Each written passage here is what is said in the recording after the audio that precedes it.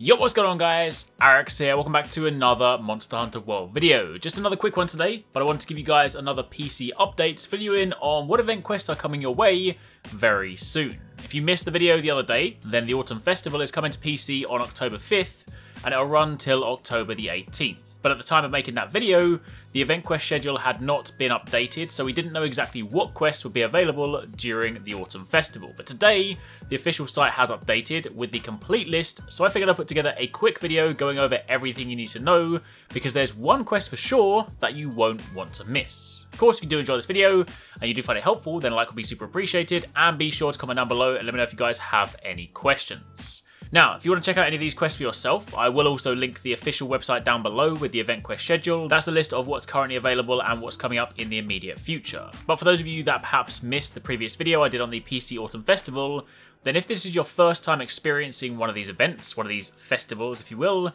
then during that time, all previous event quests that have been in rotation before will return for the duration of the festival, and they often throw in some new ones too. And the very first one worth talking about is of course the quest titled Every Hunter's Dream. This is the quest you need to complete to get the Wyvern Ignition rocket powered greatsword. This is an incredibly good weapon.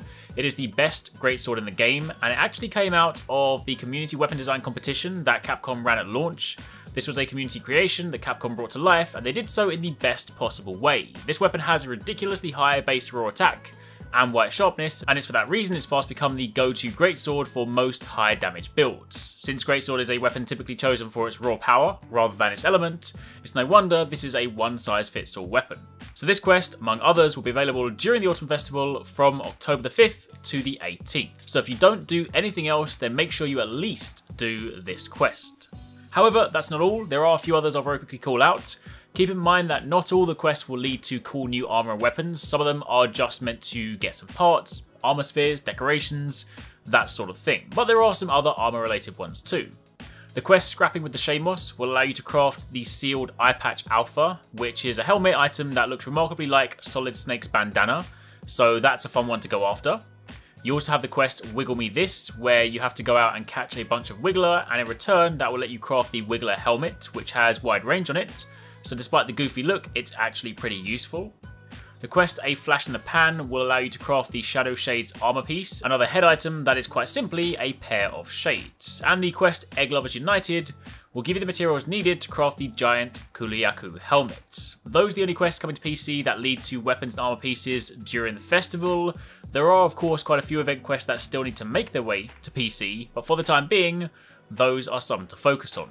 Outside of that, some of the other quests are good for materials and also gold crowns, so it's worth your time completing them during the Autumn Fest. Again, if you want to check out the complete list, then you can check out the link down below, but otherwise, that's it for now. Your Autumn Festival begins next week, so hopefully you'll have fun with it, and of course keep it locked for much more Monster Hunter World content.